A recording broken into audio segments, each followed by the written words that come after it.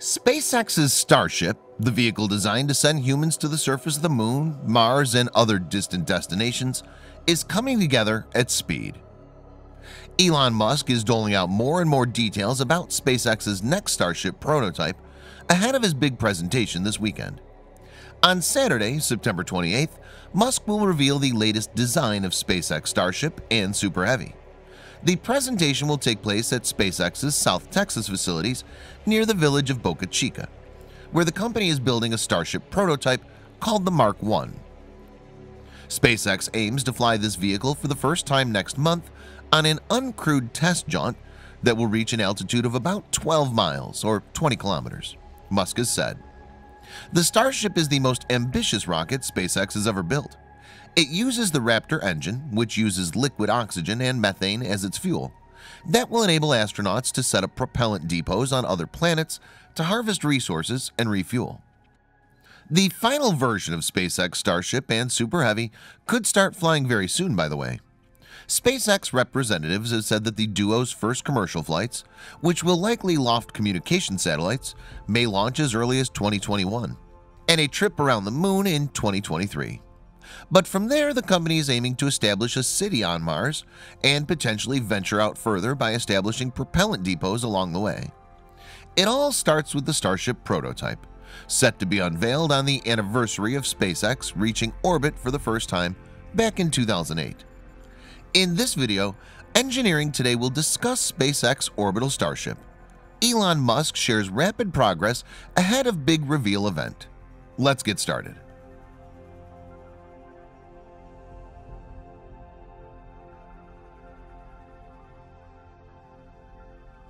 SpaceX has made rapid advancements in the week leading up to the event. Elon Musk has taken to Twitter to publish yet more photos and video of the company's Starship Mark 1 rocket prototype. Wednesday, September 25th, for example, Elon Musk tweeted out two photos of the partly finished stainless steel vehicle being lifted onto a transporter. And on Monday, September 23rd, Musk shared video of the raceway and flap hinge aero covers. Musk has previously said that the Mark 1 and the Mark 2, a similar prototype being built at SpaceX's Florida facilities, will be powered by at least three of the company's next-generation Raptor engines. And Thursday, September 26th, Elon Musk has been tweeting images of the vehicle, including a view of its three Raptor engines installed in the base of the vehicle. This is the best official photos of Raptor engines yet taken. This marks the first time that a SpaceX prototype of any kind has had more than one Raptor engine installed, a fairly symbolic but still significant milestone that follows in the footsteps of Starhopper's successful single-engine flight test campaign. The earlier prototype flew August 27th from the site, ascended to an altitude of 150 meters before landing on a neighboring pad a minute after takeoff. That vehicle won't fly again, with the company instead using it as an engine test stand. SpaceX Starship Mark 1 is preparing to support the program's next major steps full-scale, high-altitude flight tests powered by three Raptor engines. This is quite a complex beast, but hopefully within a month or so. Musk said on September 26th when asked on Twitter when he expected the vehicle to make its first flight. The sight of three Raptor engines installed on the first true Starship prototype is undeniably hard to downplay. In barely seven months, SpaceX has gone from the very first static fire of a full-scale Raptor engine, serial number 01, to test flighting Raptor SN06 and producing enough engines to bestow Starship Mark 1 with its own set of three engines. According to the latest comments from Elon Musk, SpaceX Starship is meant to be powered by three sea-level Raptors and three vacuum-optimized Raptors, RVACs. RVAC may or may not be ready to support the flight tests of early prototypes like Mark 1 and Mark 2, meaning that their three sea-level engines will likely be the sole propulsion for the time being. Both the Mark 1 and Mark 2 will start out making suborbital flights, but the goal is to get them to orbit eventually, Musk has said. Note that the ship is just one part of the vehicle designed to leave the Earth. The final construction will include the Super Heavy, a first-stage booster that brings the whole construction to a height of nearly 400 feet. The whole system is expected to use around 40 Raptor engines to provide the needed extra boost.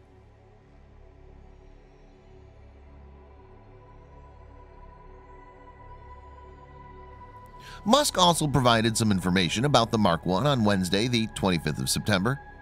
In a series of tweets which addressed questions posed to him by followers, for instance, he said that this prototype, the second Starship test vehicle after the single-engine Starhopper, which was retired last month, is expected to measure 50 meters or 164 feet tall.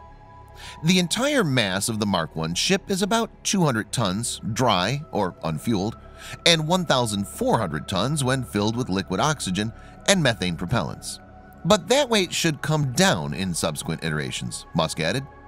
By the fourth or fifth iteration, SpaceX is hoping to reach 120 tons of mass for Mark 4 or Mark 5, including the maximum payload. The total stack is expected to offer a mass of 5,000 tons. In another tweet, Musk revealed the number of landing legs the Mark 1 will have. The first prototype is expected to use six landing legs. That includes two windward under each fin and two leeward. Musk stated that this will provide redundancy for landing on unimproved surfaces, an ideal feature for a rocket expected to traverse the solar system. But where's the top half? Musk explained that this component would be fitted later. The group did not close out the ship as it was still building hardware into the top of the fairing which covered components like composite pressure vessels and large batteries. These have been placed in the nose tip, Musk explained, to balance with the engines and rear fins. The ship uses four flaps to control pitch, roll, and yaw. It's unclear how SpaceX is moving the flaps, but the company was spotted installing Tesla batteries into the ship. Musk's electric car company, it seems, is helping to benefit his other companies. SpaceX engineers have installed four Tesla Model SX battery packs together, which would give them an energy capacity of about 400 kilowatt hours. It's the latest example of synergy between Musk's two main companies.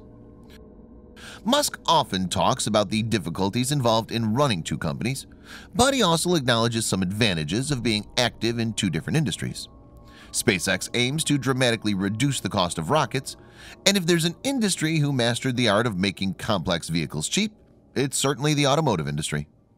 On the other hand, Tesla has benefited from SpaceX's expertise of high-tech manufacturing techniques, such as stir welding, a technique SpaceX uses to join large sheets of metal like the ones used for the aluminum tank of their rockets. It would be pretty embarrassing to use a non-Tesla battery, Musk wrote. It will result in more SpaceX technology inside Tesla vehicles, while there will be some Tesla technology in SpaceX's own vehicle.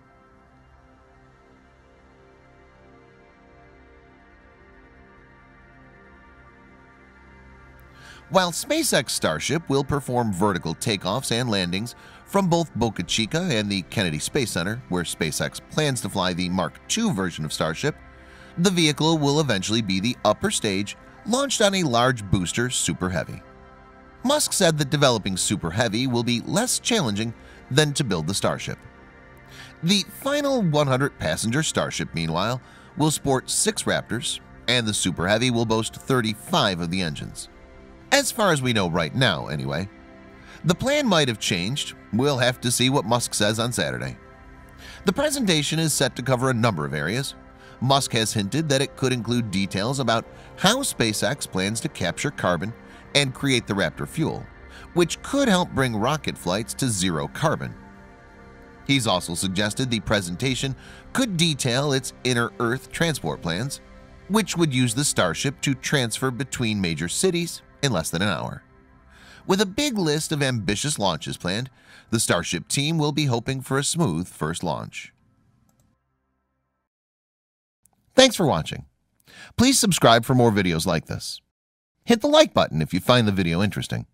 And kindly provide your valuable feedback in the comment section. This will help us to improve.